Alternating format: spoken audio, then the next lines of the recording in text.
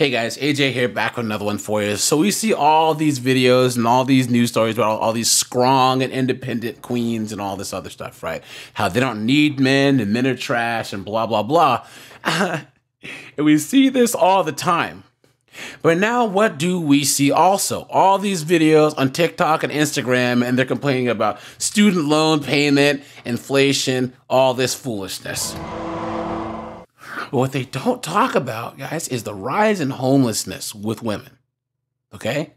We have a larger percentage of homeless women now than ever before, and the number is rising. Well, guess what, guys? We're going to talk about that today. But before we do, like, subscribe, drop a comment because it really helps keep this channel going. Check out my second channel linked in, the description. I have a news story here, guys, and then we're going to go to the dumpster fire known as TikTok because these chicks are even dumb enough to post about being homeless on the internet. Here we go, guys. Let's go. Women and homelessness. The numbers are on the rise, and a new study out of New York reports it's happening at a far greater rate than recognized. Of course it is. There are more than 580,000 people who are homeless in the U.S., and of those, almost half, 223,000 are women. There it Many is. of those are single mothers, and as prices for everything skyrocket like rent and food, researchers say more and more families will be waking up with no place to call home. So I want to introduce you this morning to two women who are trying to break this cycle. Do you see how he said families? He said uh, single moms, and then, and then he said families, clown world. Watch. I didn't have a place to stay. Of course not. But to see your four children at that time, my youngest was nine months old to have him sit in the car seat for majority of his day. Maria Murga spent eight months homeless. Damn. Just gone through a divorce.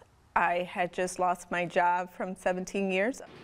Faced with nowhere to go and nobody to help them, both Cio Sotelo and Maria made a call to bridge communities. 90% of the families we served are head the head of the household are single moms. There it the is. The truth is the number one 90% are single moms that this organization helps. Clown World.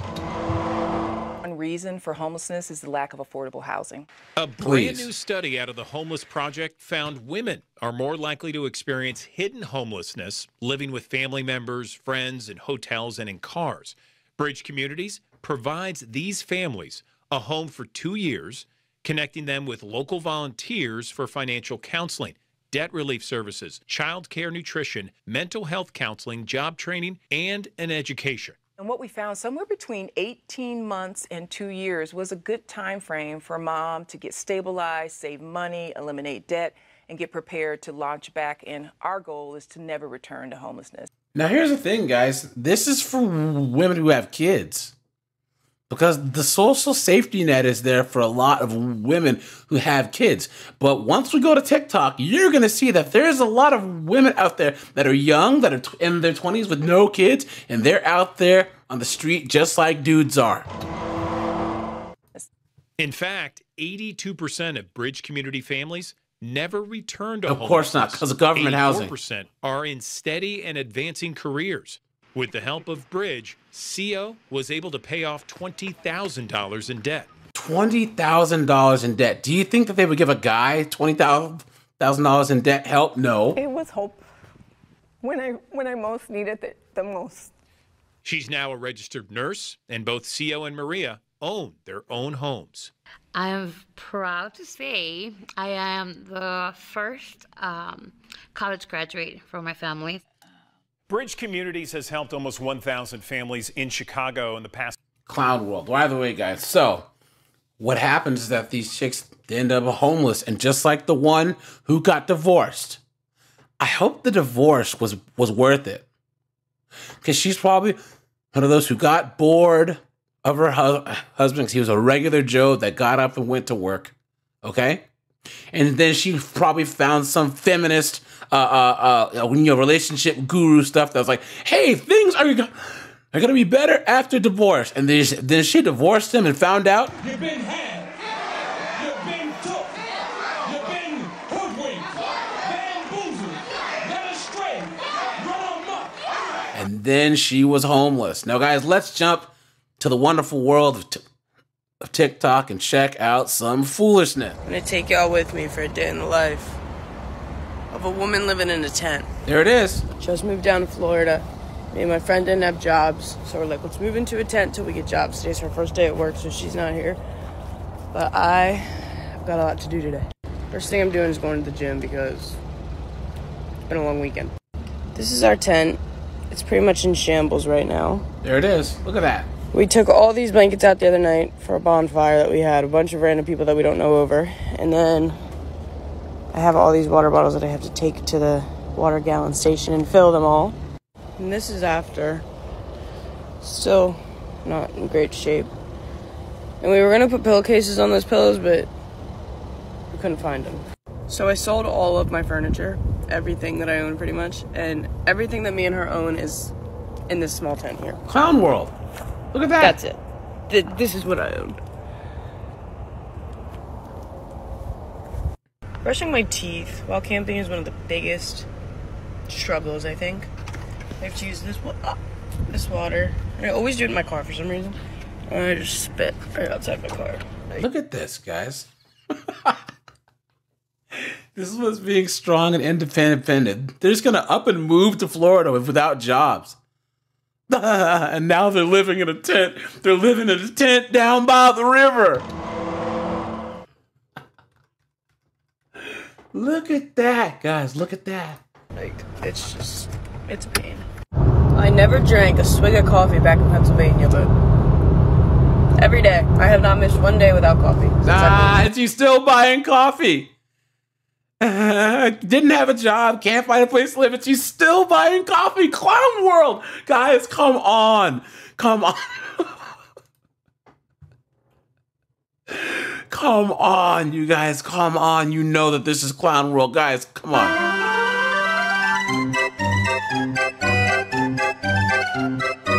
Absolute foolishness, women, right? Uh, I like to do things that I enjoy during the day, like I'm gonna go to the gym and then go to the beach because once the sun goes down, it's not like I can go home and watch movies. It's like I'm gonna go sit in my tent. So I'm gonna do all the boring stuff after the sun goes down.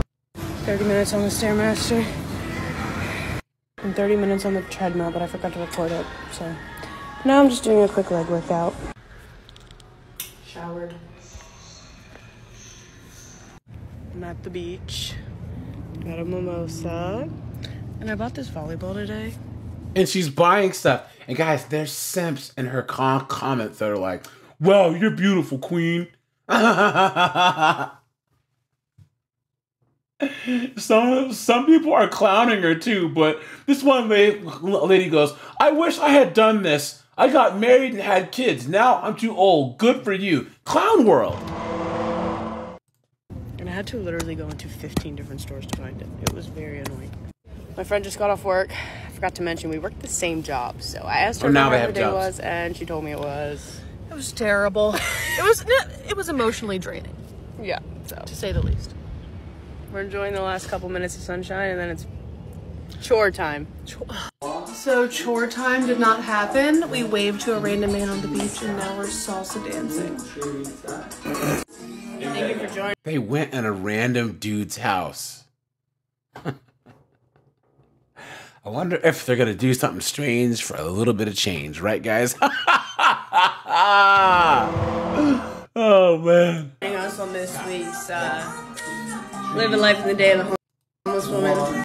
Sorry, guys, that's copyrighted music, so I don't want to play the rest of that. But yeah, everyone's saying, dude, not cool, man. What are you doing? What are you you doing? But this is what happens, man. This is how these chicks live. Clown world. Being unhoused looks different for everybody who experiences it. And everyone who experiences it feels differently about it and has different words that they want to use. Some people prefer the term homeless, and other people prefer the term unhoused. I personally prefer the term unhoused.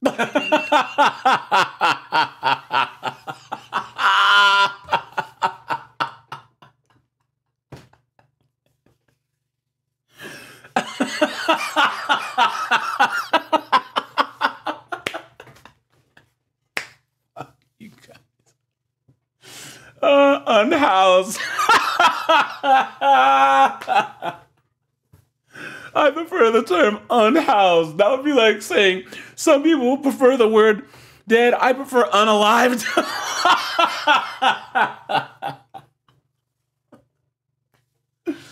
oh man, look at the look at the look at the pink hair. Come on, dude. Look at this. These Mickey Mouse tattoos. Do you think that this person does anything productive in society? And her name is Sapphic Af Sapphic Sappy. Sapphic means lesbian, right? So you we all know, guys. Come on. It's not like she's working 40 hours a week at a decent job, right? Guys, hashtag homeless, hashtag unhoused, hashtag LDHD TV, hashtag Sapphic. Come on, dude. Hashtag capitalism. I knew it. I knew it. I knew it. And it depends on whoever's going through it. You Clown should world. ask them what term they want. For my wife and I, our There it is. situation is more of a hidden homelessness situation. Hidden homelessness is when you live in like a hotel or couch surfing, things like that, like not actively on the street, would be considered hidden homelessness. Regardless of the situation you're in, it is extremely isolating. I never thought my life would look like this. It is embarrassing, but it is what it is. Likelihood that you know someone who is unhoused is very high, even in your workplace. I personally think that everyone should have stable housing, regardless of their employment status. Ah, there it is. So everyone should have a place to live if they're working or not. So guys, she wants us, us, especially men, because what she means is is what they always say. These people who want to re- redistribute wealth, we want men to give to us, right? Whether they're LDHD, T- TV, or women, whatever. They're trying to say us evil, evil men. And guys, where's the race card? Hold on, I gotta bust this bad boy out, right, guys? And I'm saying this as a, as a black guy, and we all know that they mean you hetero cis white men need need to give us everything.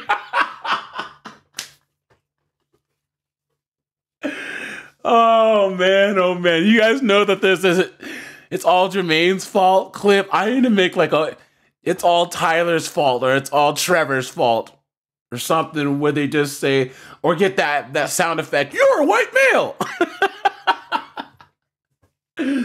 Unhoused, guys. This this woman chose to be strong and independent, right?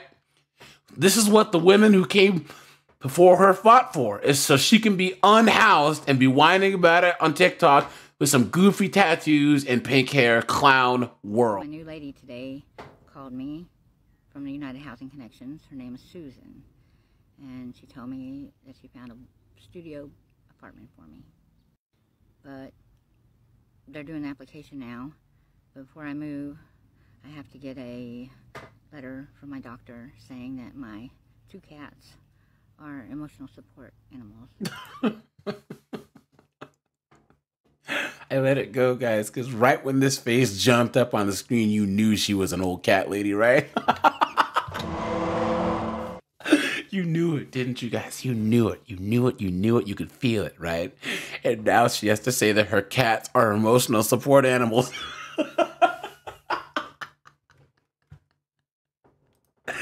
Guys, this is the future of modern women right here. And they're like, you can live here, but you'll have to give up your cats. And she said, How dare you?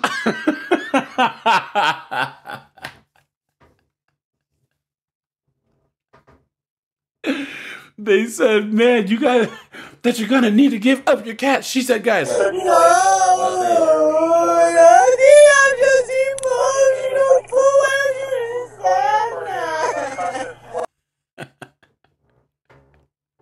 so they're giving her free housing, and her her cats are getting in the way. Clown world. which they have supported me, you know. I'm supposed to go Wednesday and meet her at her office, so I guess I'll have you an update Wednesday, you know. I know it's a long time, but There it is, guys. Hashtag in your sixties. My God. Hashtag homelessness. Hashtag hidden homelessness. Man, hashtag hope. Guys, this is the future for modern w- women, okay? all throughout, like through over the last hundred years, you would only see homeless men, right? That's it. You'd never. Now you see it all all the time, especially on the coasts. You know what I mean? You go to New York, Jersey, DC, right? Miami, and then you go to the West Coast. It's a mess, right? Seattle, Portland, Oregon, LA, you see homeless women more and more. But this is what they asked for, guys. This is what they asked for. Clown World.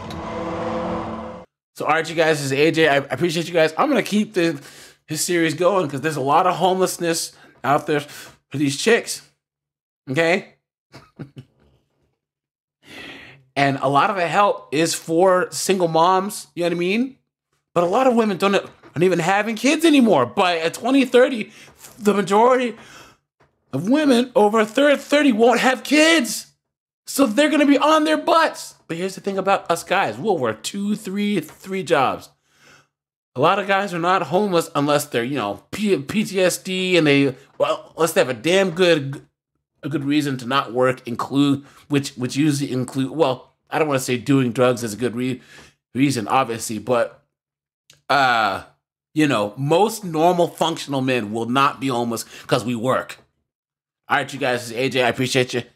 See you in the ne- next one. Have a good one, guys.